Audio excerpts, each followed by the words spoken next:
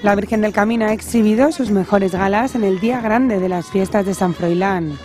Una festividad marcada por un intenso calor que ha invitado a cientos de leoneses y a turistas a participar en esta tradicional celebración. Y lo han hecho en una jornada en la que de nuevo la esplanada del santuario se ha convertido en el escenario elegido para celebrar la tradicional Eucaristía que ha sido el acto central de los festejos y en la que nuevamente la crisis económica ha ocupado un papel destacado.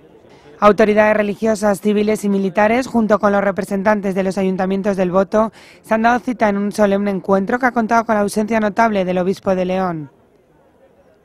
Una Eucaristía seguida por miles de personas como público bajo un sol de justicia que ha arrancado con la tradicional ofrenda al santo donde a las flores y a los productos de la huerta, en representación a los colores de la tierra y al esfuerzo y el esmero de sus gentes, se han sumado la tradicional cuelga de rosquilla y una jota para simbolizar la alegría de los leoneses.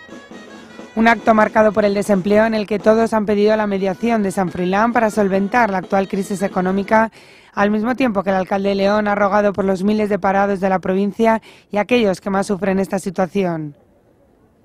Tras este tradicional acto, que ha finalizado con la imposición de la cuelga al santo en el interior del templo y el beso al manto de la Virgen, las autoridades han vuelto a reiterar su deseo de que con el nuevo año la situación económica mejore, invitando a todos los leoneses a disfrutar de la fiesta por antonomasia de León.